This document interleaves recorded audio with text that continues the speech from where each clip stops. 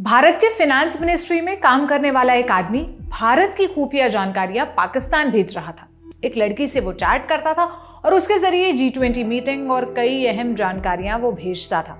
आइए, आपको ये पूरा केस डिटेल में बताते हैं। सेंट्रल एजेंसी आईबी ने, यानी इंटेलिजेंस ब्यूरो ने इनपुट दिया था कि वित्त मंत्रालय में कॉन्ट्रैक्ट पर काम करने वाला एक शख्स पाकिस्तान के लिए जासूसी कर रहा है। इसी आरोप में गाजियाबाद पुलिस ने उस शख्स को गिरफ़्तार किया है। लड़के का नाम नवीन पाल है।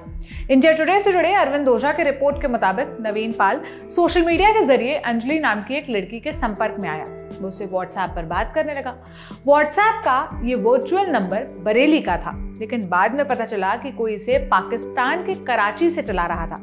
इस नंबर का आईपी एड्रेस कराची का निकला। नवीन के मोबाइल फ़ोन से वित्त मंत्रालय और जी के दस्तावेज़ भी मिले। उन पर सीक्रेट लिखा हुआ था। नवीन पाल पर आरोप है कि उसने व्हाट्सएप के ज़रिए भारत की कई खुफिया जानकारियाँ पाकिस्तान भेजी उसने कराची में वित्त मंत्रालय के कई ज़रूरी दस्तावेज़ भी भेजे। इस मामले में अलवर की एक महिला भी आईबी के रेडार पर है।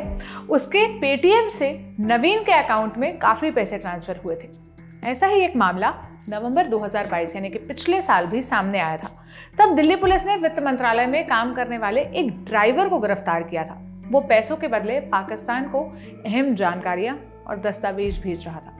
आज तक की रिपोर्ट के मुताबिक वो ड्राइवर पूनम शर्मा नाम की एक महिला से संपर्क में था।